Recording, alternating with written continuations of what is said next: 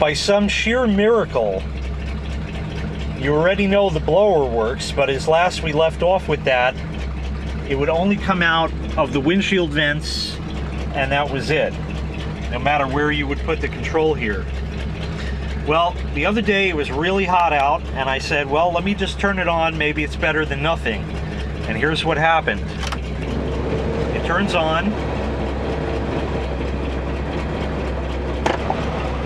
And then I heard that pop and I said, oh shit, something broke. And then I said, wait a minute. There's air coming out of the vents. And here too. There's air coming out and that one there and I tried moving the selector around and if I put it over to heater you heard a clunk the vents shut off over here and it comes out the windshield and by the floor there's some vents down there if I put it back you get that clunk and it shifts and it goes although the AC does not work if I put it to recirculate, you can certainly hear a difference. See?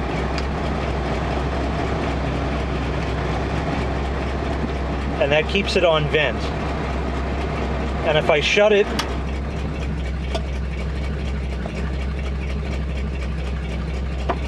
there's that clunk and it's reset. Turn it back on, no air, it opens, clunk, and there's all the air right there. Now, it got colder in the morning, and I had to move the car because we were going to mow. And when I did that, it did not want to do that clunk and open fully. So something is jamming up somewhere, and it certainly doesn't sound healthy with that clunk. When I waited till later in the day when it got warmer out, then I tried it and it opened and did everything it was supposed to. So I have no idea what the hell that's about, but it actually works now when it's hot out. When it's cold out, it's going to be stuck on the windshield and floor, which is fine because that's what I would need in the winter anyway. And I guess it'll have to work that way unless anybody knows where I should look or anything. I know it's, yeah, it's under the dash, I know but where? There's nothing that I could just reach up and, and see. You know, so if anybody knows if it's a total pain in the ass or what, I'd appreciate knowing. The other thing is, the heat now works. I played a hunch the other day. If you can hear me, the hunch was that this vacuum line, which was just sort of hanging right over here, probably went somewhere. And where's that somewhere? I noticed an actuator over here. And now you see there's a hose on it. There was no hose before. And I said, I bet you that hose went to there. Well, it turns out I decided to try it. The black hose you see was given to me by the guy that did the windshield on the car. He bought some tubing to try to fix the windshield squirters but it was the wrong size and he just gave me the roll of tubing just to have. So I said, oh, I wonder if it'll fit that. And I stuck it on there and lo and behold, it did. Now, if you look, this is some sort of heater hose. And this is a heater hose as well.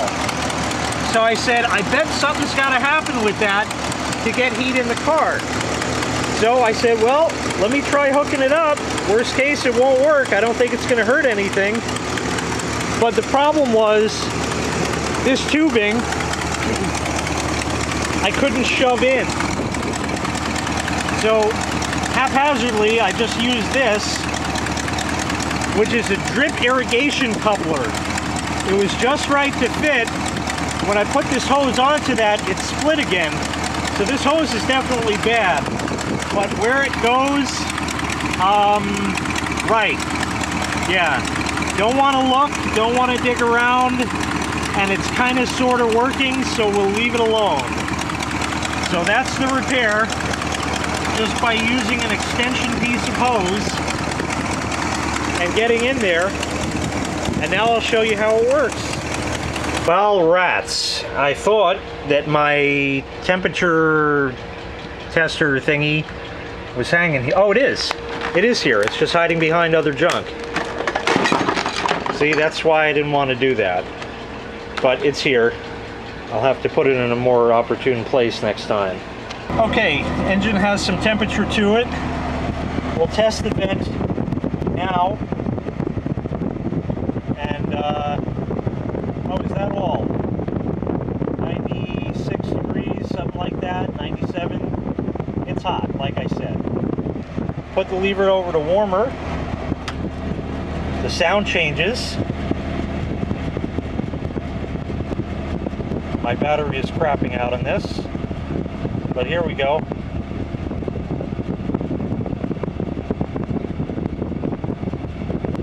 Just a minute, wait for it. It's hot, I can certainly feel it. There, it's going up.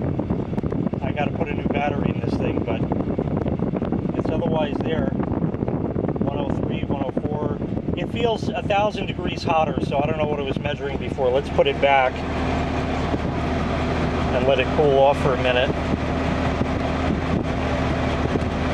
And try it one more time.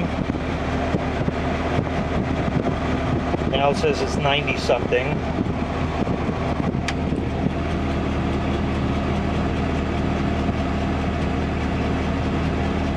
Hundred and ten, hundred and thirteen. So it's moving up. Let's see if we get anything else out of here. I guess I'll come in this way. Yeah, 120. We're getting heat. It absolutely works now. And I can shift it to heater. Clunk. And there it is. Now it comes out the floor and the windshield vents or I could switch back this way. If the AC works, you know, I could run it there too. I could leave it there, run it on recirculate. Obviously the AC doesn't work, so it doesn't matter. And I kind of don't need the heat now. Uh, I don't really know the function of the defrost lever. That doesn't seem to do anything yet. But the blower works. It shifts between where it's supposed to, and the heat works now. Slowly but surely, we're coming on, whoopsies, we're coming on a year later now, and things are starting to come together.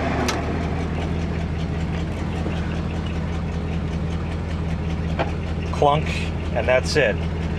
The clock does not work,